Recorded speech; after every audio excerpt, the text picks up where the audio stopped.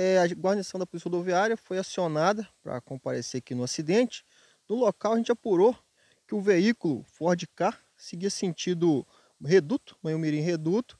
Quando ao efetuar uma curva, ele perdeu o controle direcional do veículo e atingiu primeiramente um Corolla que seguia sentido Manhumirim. Com o choque, ele veio em direção a um terceiro veículo que seguia também sentido Manhumirim, um Chevrolet Onix, e veio atingir a frente esquerda do veículo e com isso o veículo veio a capotar na margem da rodovia.